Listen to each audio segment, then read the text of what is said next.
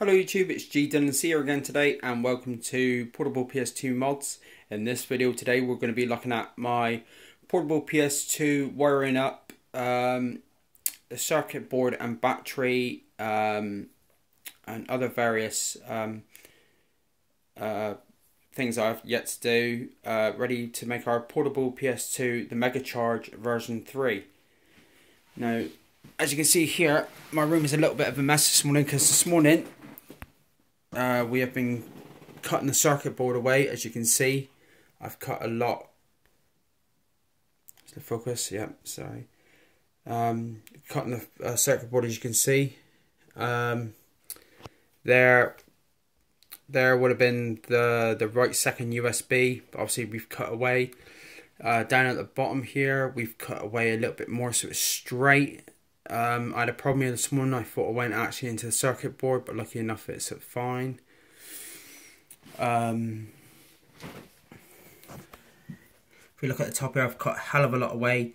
Uh, the top here, it's almost nearly a centimetre. I've taken away, I've desoldered the, the jack and cut away more. If we have a look here, that's what, uh, both, both the same, 79,003 motherboards. And as you can see there, and then you look here I've cut away. And the idea is so I can fit into this. This will be our casing for our portable PS2 there's our screen. Uh, basically it will just sit on the top. Everything will be inside and it will just sit. And obviously this time around um, uh, things will be a lot more better. Obviously my prototype um, my prototype was fine but it overheated very quickly uh, there was wires everywhere. So this time around, um, with the experience I've gained, um, which this will be a lot more easier to do. So there's our uh, Logitech NetPlay controller again. Obviously, the controller's from obviously the the prototype. Obviously, I'm going to sand it down a little bit more and smooth it down. And obviously, our PlayStation will sit exactly inside that which just just literally it's a tight fit but it does fit. Um, and obviously today I've been testing our battery as well. Um, just a quick overview of the battery. Uh, this is always seems to be the age you wire up the battery. Well I have here a 7.4 volt battery which is two single cell 3.7 lithium polymer batteries and they're wired to give me 7.4 7.4 volts. I think it's about six or seven thousand uh, milliamps of power um, there's a 7.4 volt PCB. That is a must. Must have that. Uh, our charging jack. Our three, uh, three pin on and off switch. And obviously I've got my wires going here. That would that's going to be our wall power jack. I've just wired it up literally to uh, the circuit board just for testing. And obviously our screen also goes from the, the power source on the circuit board here. So that's uh, quick, and show you how it works. Basically, the third pin goes to our DC jack, the power, uh, the positive. Uh, the second one goes to the PCB. Obviously, that one there goes to your battery, and the first one goes directly to the circuit board. And all your grounds are wired up together, which I've got here, all wired there. And and obviously our screen, our TFT screen. Uh, all I'm doing today is just testing the Free McBoot uh, let's say, because obviously the issue I've had. And once I've done this, and I'll be ready to make this. So let's fire up. Let's turn them on. So we know power's going there. Also, I've just got my fan there. I keep the fan in just to test things that things are working. Obviously, the three brief uh, screens come up. Um, my sound, I haven't got no sound. Obviously, I'm just testing at the moment. So, yeah, so, and that's about it, making our, uh, that's basically our overview of our circuit board. Obviously, our heat shield, obviously I've cut it down to size. I've cut the fan, which is going to be flipped upside down. Go about there. Obviously in our casing, I've drilled the holes out. Uh, that there was part of the actual casing, so I'm just going to cover that up. And obviously our controller, using the Logitech it's already done for you. It's basically a case of gluing it or screwing it, whatever you choose. And um, yeah, it seems to be working fine. so that's a quick uh, video demonstration of where I am. Um, questions that uh, people always commonly answer. Um, obviously, how do you power the screen? Screen, the TFT screen just powers exactly from the the port um, port of the PlayStation where the power is, and that's where the battery is is too. Um, the battery seven point four volt. If you that's the pretty much the common uh, setup of wiring for the battery, and I've always used that, and it seems to work pretty well.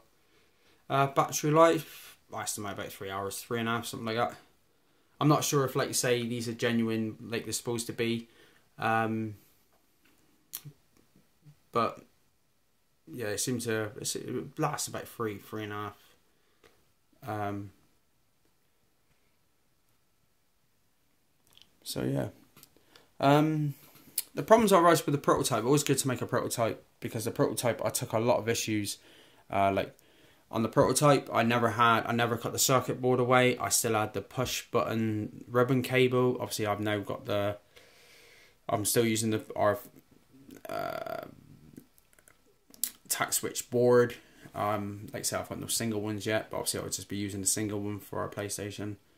Um, like I said, I never cut the circuit board, but now I have. I've cut it right down, and cutting the circuit board was out of my comfort zone. But I thought if you want it smaller, you're gonna have to start learning.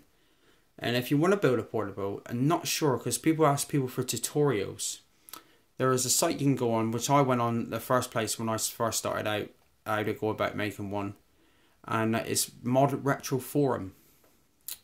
And if you click, if you type it in, you'll see a list. You'll see placed uh, PS2 and there'll be a load of questions there. There's a beginner's guide and it shows you in pictures how to desolder the circuit board, how to wire up the tact switch and all that. And that is a good place to get started.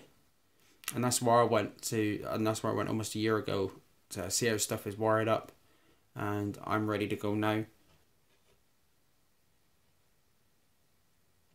Just so I was just feeling the thing that's been on for that's actually quite still quite cool. Um, with even though the fan's not there, it's still quite it's warm but not hotish. So that's quite good. I can feel the air there. That's good. So I've got my hand. So yeah, it's still pretty pretty cool. And obviously my fan's gonna go there. Obviously it's literally just gonna jet the air right out. And that is about it. To we're, we're ready to get going. But I see a lot of people putting comments about making a build. It's time consuming uh, to, but like I say, mod www mod retro mod retro forums, and it'll show you questions about battery, how to wire up beginners. There's one on there that's a beginner's guide to making a portable, and it's really good. And that's like I say where I first started off. Hope you enjoyed this video. Uh, that will probably be it for a while while I complete this and hopefully the next video I do will be a completed um, mega charge. Um, quickly before I go, I want to show you this one. This is the supercharge with disk drive. Uh, wires are everywhere at the moment. It does work. Uh, there's just one or two, uh, a couple of issues I've got with uh, uh, the memory card. But apart from that, it works pretty good. So hopefully I get that one done as well.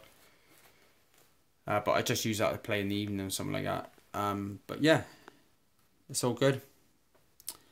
Like I say, comment, like, or subscribe, and please ask a question if there's a question that you, you're unsure about, and I'll try and answer it the best I can and point you in the right, di right direction because I've asked questions about making portables and you get the answer that you want to get. Um, so yeah, all ready to go. Hope you enjoyed this video. Take care and I'll see you soon. Bye for now.